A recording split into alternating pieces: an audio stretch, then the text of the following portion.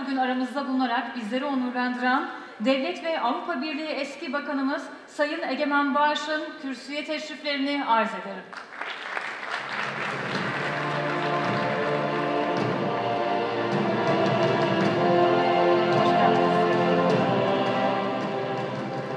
Sayın Bakanım, çok değerli Başkanım, çok değerli valilerimiz, kaymakamlarımız, çok değerli konuklar.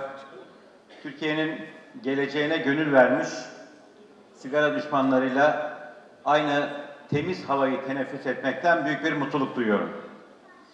Sigarayla Savaş Derneği'nin çok değerli başkanı Sayın Mustafa Aydın Hocama hepimiz adına teşekkür etmek istiyorum. Kendisi ve çalışma arkadaşları gerçekten çok önemli bir mücadelede öncülük görevini üstlenmiş durumdalar.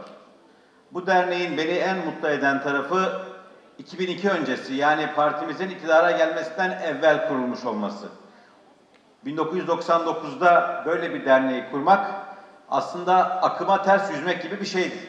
Çünkü o yıllarda biraz evvel Mustafa Hocam'ın da bahsettiği gibi şehirler arası otobüslerde, uluslararası uçuşlarda hatta Bakanlar Kurulu'nda sigara kullanılıyordu. Meclis kulislerinde duman altından nefes alınamıyordu. O dönemde de mücadele edenler vardı. Onlardan birisi aramızda. Eski Sağlık Bakanlarımızdan Sayın Bülent Akarcalı Bey'in o dönem nasıl mücadele etmeye çalıştığını ben hatırlıyorum. Kendisine de şükranlarımızı sunuyorum.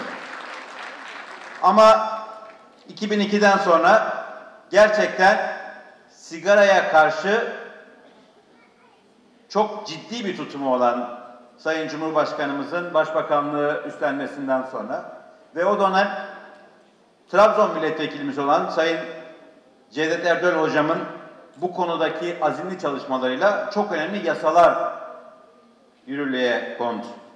Ben Cevdet hocama ayrıca teşekkür etmek istiyorum çünkü kolay değildi. Ben bizzat şahidim. O kanunları geçirtmeye çalışırken birçok kendi partimizin içindeki milletvekillerinin bile hocam bir eğlencemiz var ona da bari karışma.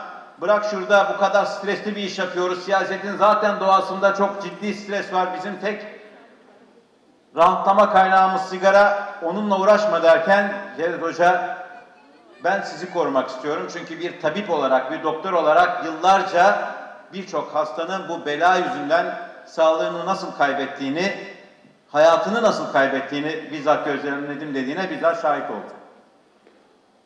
Ama bugün Türkiye çok iyi bir nokta.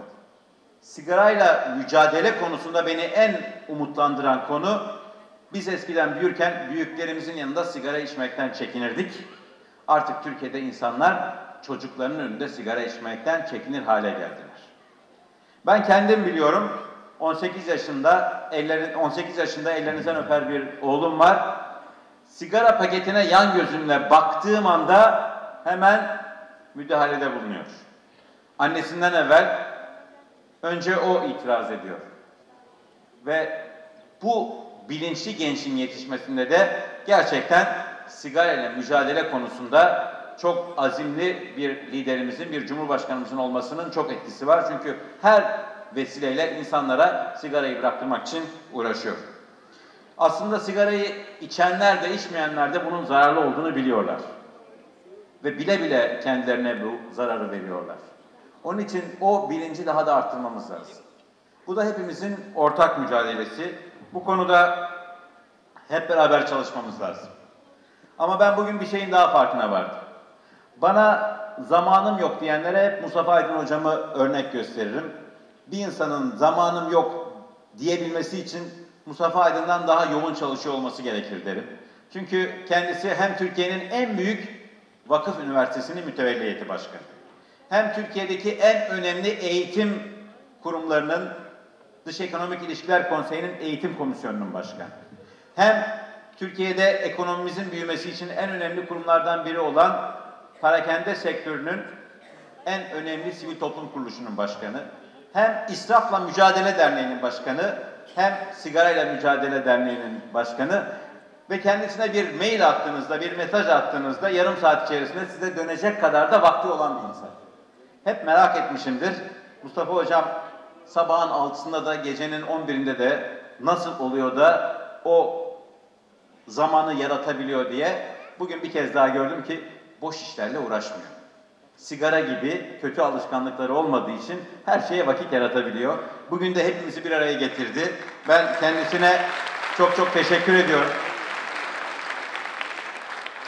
Bugünden itibaren sigarayla mücadele konusunda en azından bu salondakilerin daha hassas davranacağı umuduyla hepinize saygılar sunuyorum ve dumansız ortamlarda daha nice buluşmalarda bir araya gelmek üzere hepinize teşekkür ediyorum.